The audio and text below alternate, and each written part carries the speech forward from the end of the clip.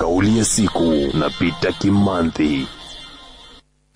Basi msikilizaji, kwenye kauli ya siku leo hii ni nakujuza tu kwamba ukikubalika kwa ujuzi ama uwezo ambao uko nao, basi jitahidi pia uweze kukubalika kwa uaminifu. Kama umeweza kukubalika kwa ujuzi, pia ni vizuri uweze kujitahidi tu uh, ukubalika kwa uaminifu.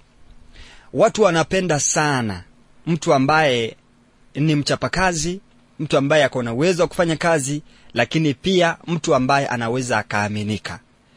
Namaanisha nini? Kama ni fundi, fundi wa kitu chochote kile, watu wanapenda fundi mzuri, lakini pia wanapenda zaidi fundi ambaye anaweza akaaminika. Wanapenda msusi mzuri, lakini zaidi msusi awe pia mwaminifu. Wanapenda mfanyikazi mzuri tu, lakini mfanyikazi awe ni mwaminifu. Wanapenda kununua vitu kwa duka lako, lakini wanapenda zaidi wewe kama muuzaji pia ukafikie kuwa mwaminifu. Hivyo basi, msikilizaji, ukiona watu wamekukubali kwa kile kitu ambacho unafanya, pia jitahidi wakukubali sana kwa kuwa mwaminifu, na ukifanya hivyo mambo yako yatakuwa yanaenda zaidi na zaidi. Ndio kauli ya siku asubuhi ya leo. Kauli ya siku. Pata msukumo wa kuanza siku.